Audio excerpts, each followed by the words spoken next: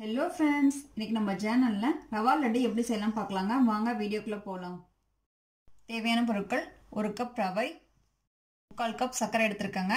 எந்த கப்பில் வந்து நீங்கள் மெஷர் பண்ணுறீங்களோ அதே கப்பில் ஒரு கப் ரவைக்கு முக்கால் கப் வந்து சர்க்கரை எடுத்துக்கோங்க. அந்த கப்பில் கால் கப் வந்து தேங்காய் துருவல் எடுத்திருக்கேங்க. இது வே தேங்காய் துருவல் வேணுங்கிறவங்க எடுத்துக்கோங்க. தேங்காய் துருவல் வேணானாலும் அப்படியே செய்யலாங்க. தேங்காய் துருவல் போட்டிங்கன்னா இன்னும் கொஞ்சம் டேஸ்ட்டாக இருக்குங்க. முந்திரி திராட்சை ஏலக்காய் தூள். வந்து ஒரு டீஸ்பூன் எடுத்துருக்கேங்க. முந்திரி திராட்சை வந்து உங்களுக்கு தேவையான அளவு எடுத்துக்கோங்க. நீங்கள் வந்து இதை வந்து பாதாம் பிஸ்தா இது எந்த நட்ஸ் வேணாலும் நீங்கள் எடுத்துக்கலாங்க. வாங்க இப்போ எப்படி செய்யலாம் பார்க்கலாம். ஒரு பேன் எடுத்துருக்கேங்க. அதில் வந்து நான் கொஞ்சம் ஒரு டேபிள் ஸ்பூன் அளவுக்கு நெய் விட்டுருக்கேங்க. இதில் முந்திரி திராட்சையை ஃபஸ்ட்டு வறுத்துட்டுக்கலாங்க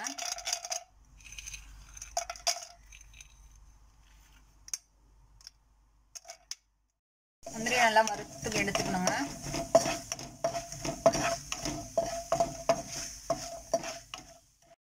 முந்திரி நல்லா சவந்துருச்சுங்க. இப்போ திராட்சையும் இதில் ஆட் பண்ணிக்கலாங்க.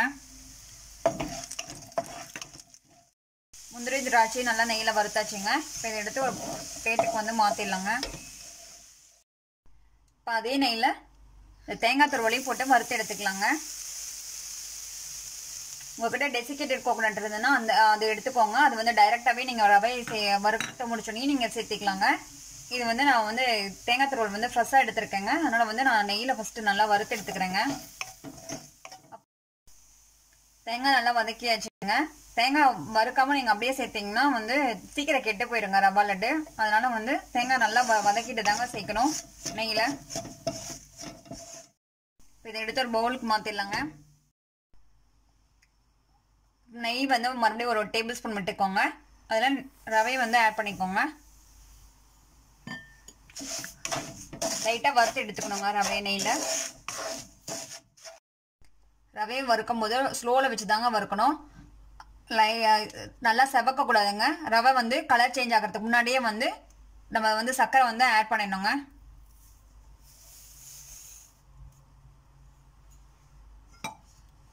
இப்போ நல்லா வதக்கிடணுங்க. சர்க்கரை வந்து நல்லா மெல்ட் ஆகி வரணுங்க.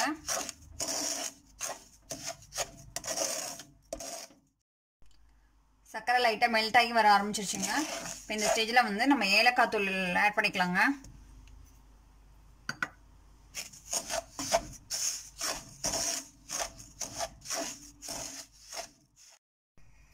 இதில் பால் வந்து ரெண்டு டேபிள் ஸ்பூன் அளவுக்கு ஆட் பண்ணிக்கலாங்க. ரொம்ப ஆட் பண்ணக்கூடாதுங்க. நல்லா கிளறி விடணுங்க. நல்லா மிக்ஸ் பண்ணி விடணுங்க.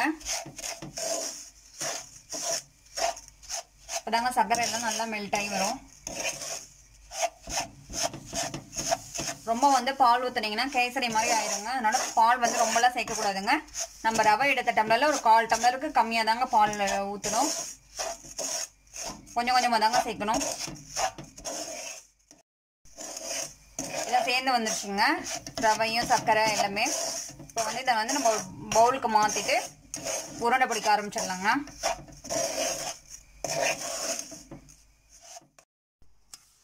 நல்லா மிக்ஸ் பண்ணி விட்டுலாங்க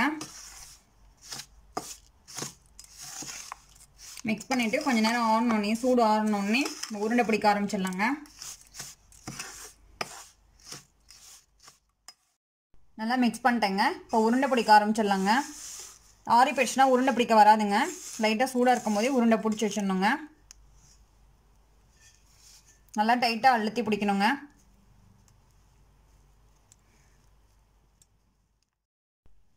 இந்த மாதிரி நல்லா அழுத்தி அழுத்தி உருண்டை பிடிக்கணுங்க. சூடாக இருக்கும் போதே பிடிச்சி வச்சிடணுங்க.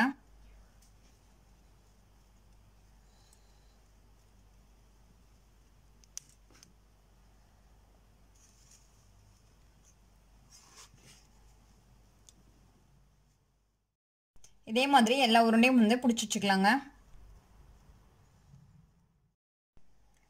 ரவா லட்டு ரெடி ஆயிடுச்சுங்க. நீங்களும் அந்த ரெசிபியை உங்கள் வீட்டில் ட்ரை பண்ணி பார்த்துட்டு உங்கள் ஃபீட்பேக்கை ஷேர் பண்ணுங்கள் உங்களுக்கு இந்த வீடியோ பிடிச்சிருந்தா லைக் பண்ணுங்கள் ஷேர் பண்ணுங்கள் சப்ஸ்கிரைப் பண்ணுங்கள் தேங்க்யூ பை பை